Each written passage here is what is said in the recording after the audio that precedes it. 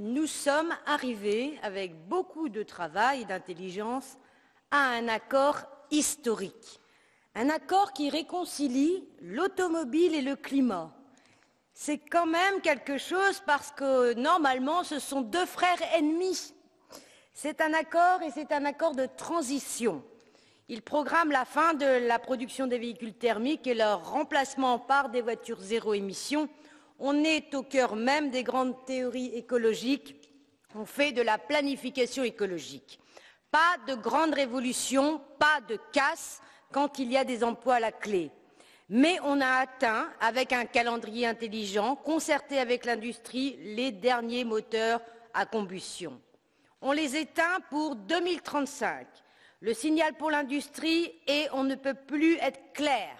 Il faut bouger maintenant parce qu'en 2035, c'est fini. Je le rappelle, les transports, c'est un quart des émissions de CO2 de l'Union européenne. Les véhicules légers sont à eux seuls responsables d'environ 10% des émissions sur le vieux continent.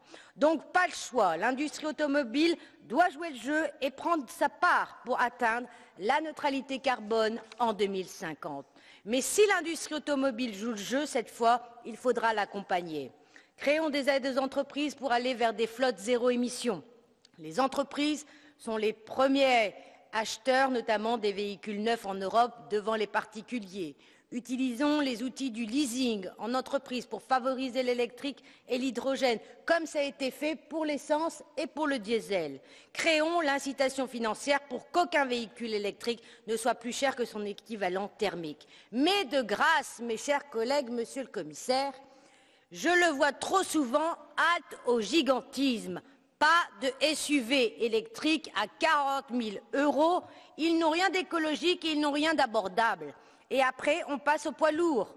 Même effet sur le climat, même mécanisme, le Parlement européen va pouvoir s'y pencher dès aujourd'hui puisque la Commission présentera justement sa feuille de route sur le CO2 des camions. Alors mes chers collègues, c'est avec beaucoup de fierté que je participe en tant que présidente de la Commission transport à cette marche, à cette mesure, à inscrire dans l'histoire que nous tournons une page je voudrais donc continuer à vous demander de faire preuve de courage politique également dans les prochains mois.